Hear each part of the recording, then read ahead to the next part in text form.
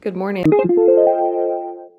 Hello, good afternoon. We are raising the water hardness on the hot tub today because every time I do the pH strip, everything looks pretty perfect. I'm pretty proud of myself. My water is crystal clear, even having it for two, almost two weeks now. I was not expecting to be that on it. However, the water hardness is a little off to me. It's a little off, and I don't like not getting a perfect score. I don't like getting an almost perfect score. You know what I'm saying, honey? Oh yeah. Oh yeah, yeah, he knows, yeah, yeah. So I did a bunch of research and I found that if your water hardness levels are low, it can actually cause erosion in your machine, like in the pump and the tubing and all of that. It can deteriorate your hot tub.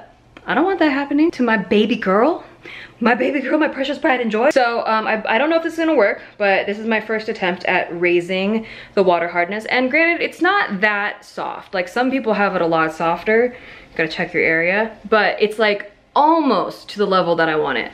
Almost. So it needs to be at least 120 ppm, whatever the fuck that means. And this thing says that it needs. It will raise the calcium hardness 7 ppm in 500 gallons of water. One fluid ounce will raise the calcium hardness 7 ppm in 500 gallons of water. Gonna do some maths here. Gotta do some quick math. So mine is at 50, I need it at 120. That's 70 that's at 70 ppm that I need to raise it. Therefore, 70 divided by 7 is 10 ounces in a 500 gallon tub of water. However, my Coleman Spa inflatable tub is 250 gallons of water. So then I need half that amount. So 10 ounces divided by 2 is 5 ounces. We need to add 5 ounces of this leisure time calcium booster to get the result that we want. I think I'm gonna add maybe one extra ounce because it can be anywhere in that above 120 range and I think I'd rather be safe than sorry. So I'm gonna add six ounces. Hey, leave my plant alone. My child is attacking my other child. Leave my plant alone, Tom Collins. Okay, so anyway, this is very poisonous, so I'm gonna use it in my cooking cup, my cooking measuring cup. Cause yeah, you know, what could go wrong?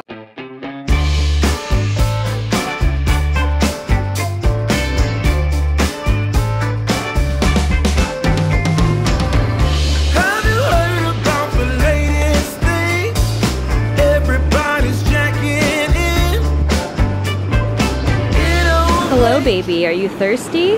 I brought you a drink. There you go. Yum yum for your tum tum. I think she likes it. Okay, so that has to be on an hour or two.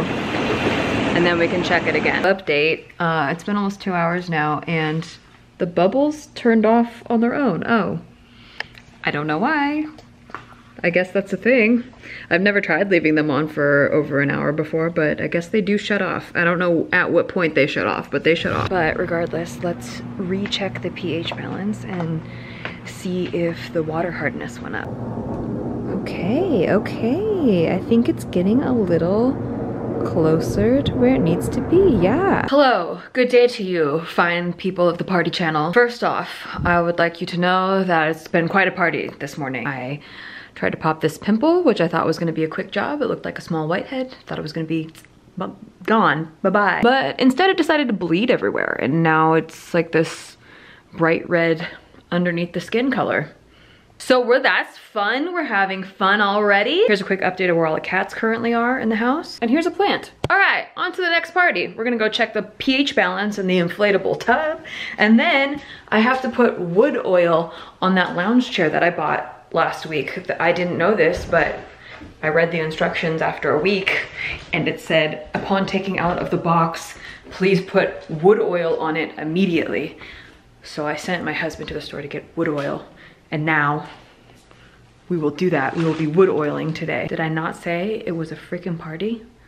Thank you. Thank you. Oh my God, it's bright out here. Holy. Well, that's why we have an umbrella. See? Listen, it's a chic wife summer. We're sheeking in the shade, or we're not sheeking.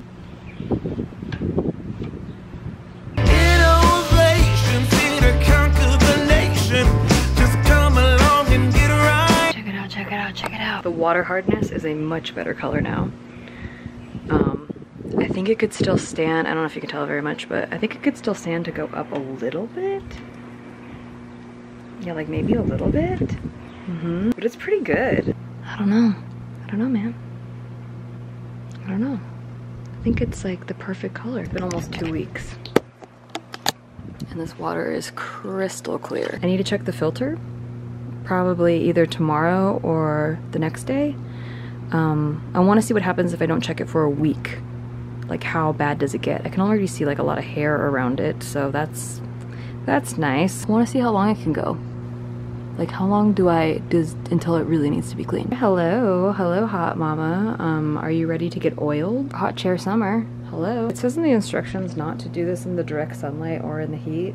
And this kind of was in the direct sunlight and it's very hot out. But like also like I'm really impatient and I don't, if I, for, if I don't do this now, like I'm gonna forget to do it and then it's gonna get dirty and then I'll have to clean it and then I'll have to wait six to eight hours and then I'll have to oil it. Yeah, we're just gonna do it now and I'm sorry. Sorry if that's not the way you like it, but that's the way it's gonna be.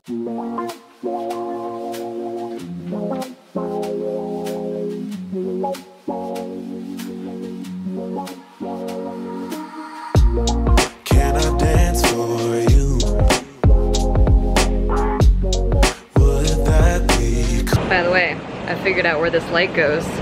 It's gonna be a party tonight. Yep. Okay, a couple of updates. One, I did end up adding more water hardener to my spa and we'll see what happens with the ppm. Two, a lot of you were right when I did that vlog earlier where I thought I had a hole in the lid because it was deflating. It was completely deflated. Like it just felt like so soft last night to the point where it couldn't stand up straight. It kept flopping over into the pool when I was in there. But I went out there today and it was completely inflated again. Like it was taut. It's a very taut lid. So science, man. I have some qualms, okay, with that lounge chair and the wood oil process. The audacity that you're gonna make me pay for an item and then require me to do manual labor with that item. I don't like it. No, I don't like it. I don't, I do not I do not like it. Like, yes, there's a certain level of maintenance involved with every piece of furniture. For example, this couch, I vacuum it once a week because of pets. And obviously the hot tub requires a certain level of maintenance, but I enjoy that. I guess I was just caught off guard. I like to just know what I'm getting into ahead of time. And I've never had a live wood piece of furniture that you need to oil once or twice a year or more. I don't know how often you oil it. I don't know. I don't know any of these things. I've never had this. Is, I'm new. Hello, I'm new. I'm not Nikki Limo and I'm new. And I don't like it. No, my hands feel weird. It got all over my cement. It didn't stain. I was worried about that. It did not stain, at least the type of oil that we have. And supposedly this oil seals as well. It, it like oils it and then it seals it and protects it. I don't know though, man. I don't know. We'll see, I guess, when it rains. Another thing is the rag that I use. It told me to use a rag to apply it. Uh, the rag has little fuzzies on it and the fuzzies got everywhere. I will say though, it is way smoother with the oil on it. Like it was pretty rough sitting down on it before. Like the texture of it was like rough on my skin. But now it's like very smooth and so I'm kind of excited to chill in there. So that's a plus. But like, why did I have to do it? Like, why didn't it just come like that? Like, I don't care. Polish it, weatherproof it. I don't, come on, bruh. Bruh, just polish it. I don't, I don't want to deal with you. That's, and that's it. That's all I'm going to say about that. I will, I won't, I'm done. I'm not going to talk shit about that lounge chair or the process anymore. I'm done. But now you know, you know how I feel. I said what I said. That being said, she is pretty and she's very smooth to sit on. So, okay. It's a party channel. Look at this party animal right Cece, calm down. You're having way too much fun. You're having way too much fun. Her little toes. her little feet are so short for her body. I've never seen a cat with such short feet. She reminds me of a Pusheen cat. Hi, I love you. You're so sweet. Hi, silly. What a cute girl. What a cute girl. Huh. Yeah, you're a sweetie. You're a sweetie. Hello update. It's later now and we're gonna watch the season finale of the season of Survivor that we are on. It is a two hour finale and we are watching it from our own island. I'm waiting on Steve to finish eating.